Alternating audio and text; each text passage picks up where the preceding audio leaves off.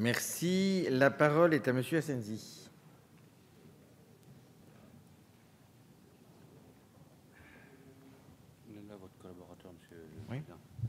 Merci Monsieur le Président, Madame la Ministre, Monsieur le rapporteur, mes chers collègues. Oh, je dirais que la messe est dite. Hein. Nous ne sommes pas dupes un peu de ce débat. Vous avez la majorité et vous êtes inflexible sur votre projet. On l'a bien compris. Donc on va essayer de tenter d'expliquer encore une fois quelle est la position du groupe GDR sur ce projet de loi. La métropole du Grand Paris que vous imposez confisque aux collectivités territoriales leurs compétences stratégiques. Les communes deviendront de véritables coquilles vides. Les maires seront juste bons à recevoir la plainte sociale des habitants qui pourront devenir, qui seront mécontents des projets imposés par la métropole.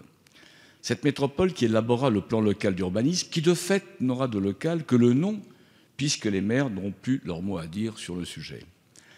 Les années de travail d'innovation urbaine, sociale, économique, initiées par les collectivités territoriales sur des projets concrets et novateurs seront remis en cause sans que les habitants soient même consultés.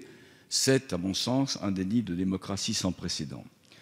Ajouté à d'autres manœuvres comme le découpage arbitraire des cantons imposés en ce moment dans les départements, j'ai la nette conviction que le gouvernement tente de déstabiliser notre édifice républicain, nos villes et nos communautés d'agglomération. Vous voulez éteindre les collectivités territoriales qui sont historiquement des lieux de résistance et de construction, un retour en arrière considérable où l'État ne jouera plus son rôle de garant de l'égalité républicaine entre les territoires. Alors que la carte intercommunale est maintenant quasiment achevée, vous vous apprêtez à balayer d'un revers de main les EPCI de la petite couronne. C'est pourtant l'État lui-même qui a poussé à la création des regroupements intercommunaux, en y allant même de la menace de regroupement autoritaire. Où est donc la logique d'efficacité? Pleine Commune, en Seine-Saint-Denis, par exemple, a fait un travail remarquable sur la réhabilitation de la Plaine Saint-Denis Seine-Ouest, Grand Paris, autour de Boulogne, a aussi contribué au développement de son bassin de vie. Mais vous brisez ainsi des années d'efforts pour faire vivre une coopération intercommunale consentie, équilibrée et productrice de projets innovants. En cohérence avec le projet d'une Europe des régions, vous voulez faire ce que personne avant vous n'a réussi à imposer, faire disparaître les communes au profit d'entités technocratiques faisant fi du rôle des élus de la nation. Votre adhésion à une vision libérale de la société européiste vous conduit à déstabiliser, je pèse mes mots, la démocratie et la République incompatibles avec le libéralisme européen. Pour le groupe GDR, la métropole du Grand Paris ne doit pas se construire en opposition aux communes et à leur regroupement.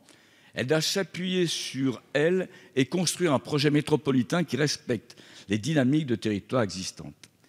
Alexis Tocqueville, qu'on ne peut pas taxer d'être un auteur révolutionnaire, le disait en son temps C'est dans la commune que réside la force des peuples libres. Les institutions communales sont à la liberté ce que les écoles primaires sont à la science. Elles la mettent à la portée du peuple. Elles lui en font goûter l'usage paisible et s'habituent à s'en servir.